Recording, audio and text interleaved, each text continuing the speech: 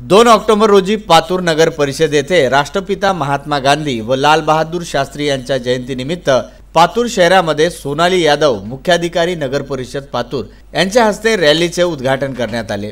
रॅलीमध्ये रस्त्यावरील सार्वजनिक ठिकठिकाणी नागरिकांच्या घरातील तसेच व्यावसायिकांच्या दुकानातील प्लॅस्टिक गोळा करून नागरिकांना सिंगल यूज प्लॅस्टिक न वापरण्याबाबत संदेश दिला. तसेच नगर परिषदेतील प्रतिज्ञा बोर्डवर त्यांनी सिंगल यूज प्लॅस्टिक वापरणार नाही अशी प्रतिज्ञा घेऊन स्वाक्षरी केली.